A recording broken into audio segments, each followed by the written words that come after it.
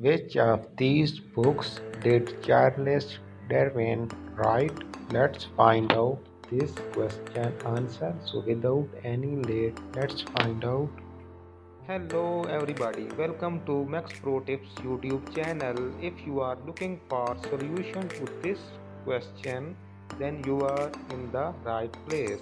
I am about to reveal some easy way to solve this problem.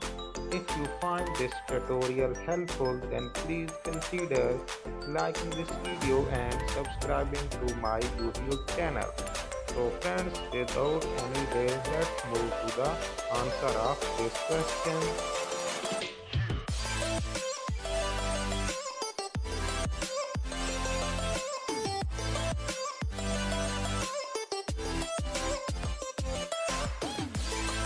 Subscribe and turn on notifications so you don't miss more videos helping you to answer of your question and more.